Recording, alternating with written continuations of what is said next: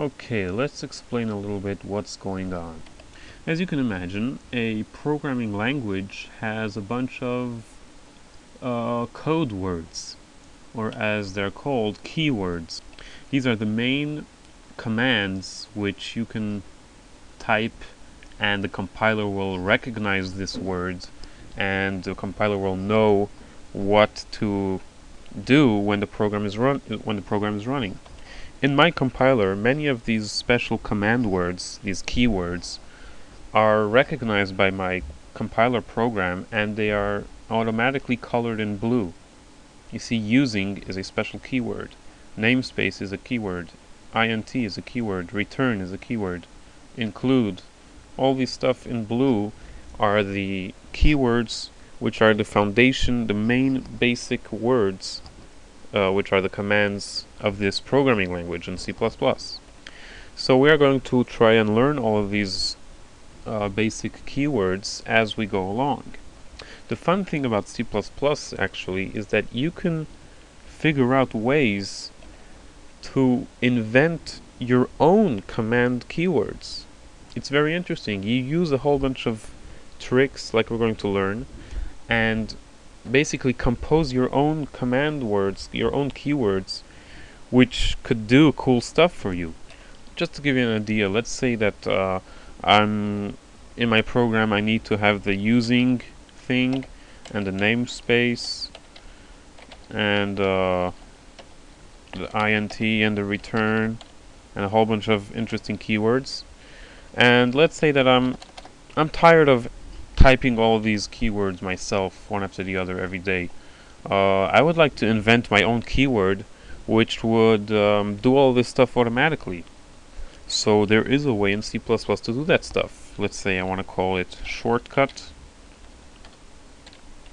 This, this isn't exactly how we do it, this is just, you know, um, example code just to illustrate what I'm trying to tell you.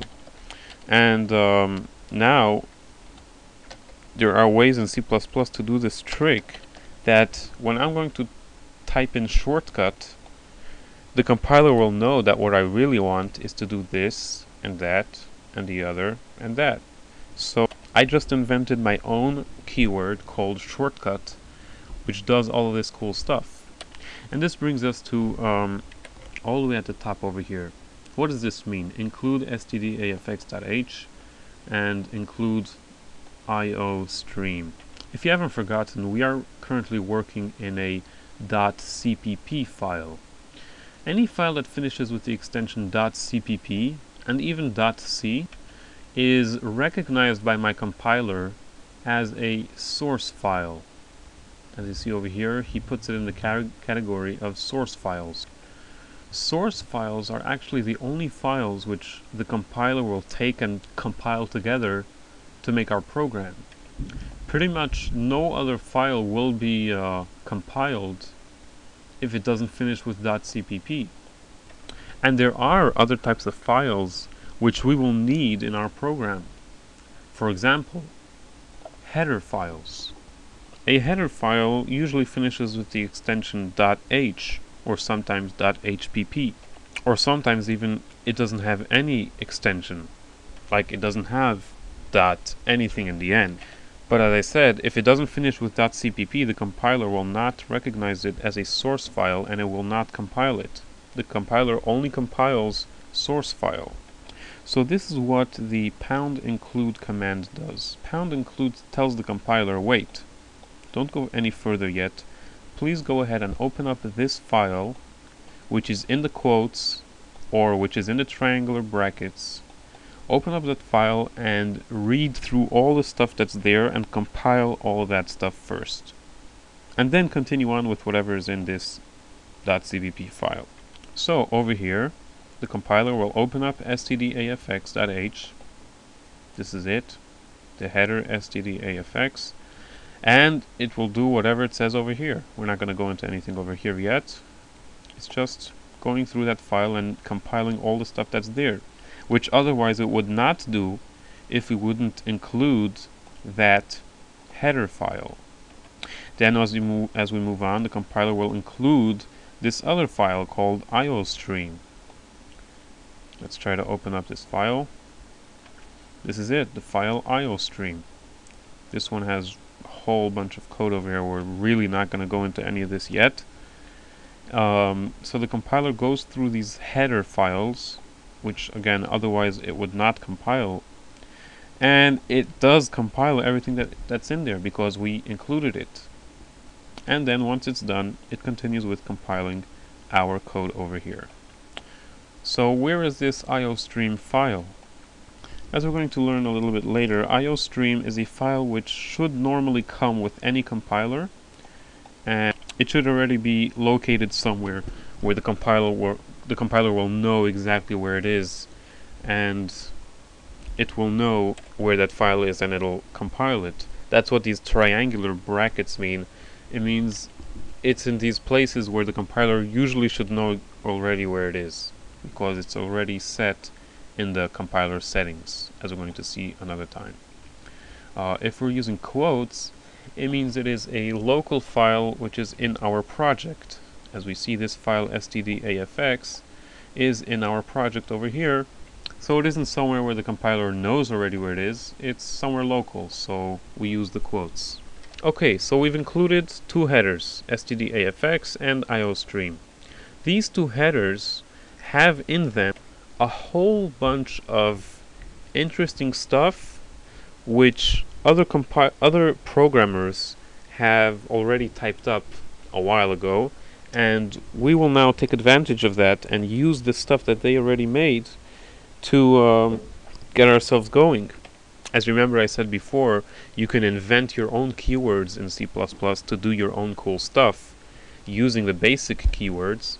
So that's what these other files have. They have a whole bunch of uh, composed, made uh, keywords which other programmers already made. And we're going to use that.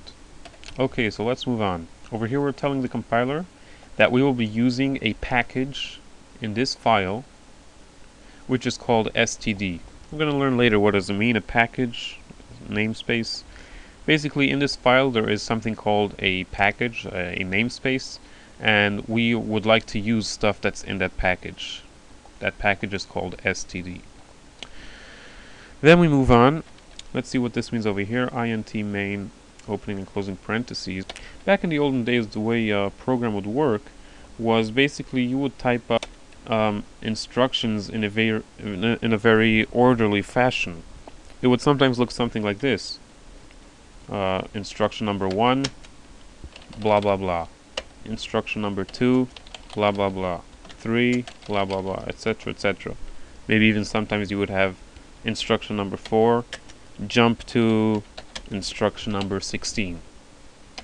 And then we would have a whole bunch of commands and then instruction number 16 do something instruction 17 return go back to where you came from which is instruction number 4 so this would be uh, the way how the program's code the program's uh, instructions would be organized with uh, line numbers so that when the program is run the interpreter or basically the compiler would know in which order the commands must be executed. However, this is a little bit messy and uh, not so easy to keep track of. It's a little bit of a mess to have one big list of commands and you have to keep track of what's jumping to where and what's returning to where and stuff like that. It was getting pretty complicated. So instead, C++ has something which is called functions. A function is basically uh, one chunk of instructions all bunched together in one package which begins with a opening brace and a closing brace. This is called a function. A function has a name. The func this function's name is called main. And here's the opening brace and the closing brace.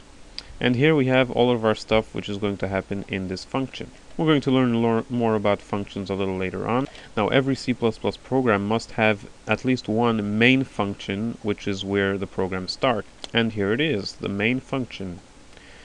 And inside the main function is where our program begins.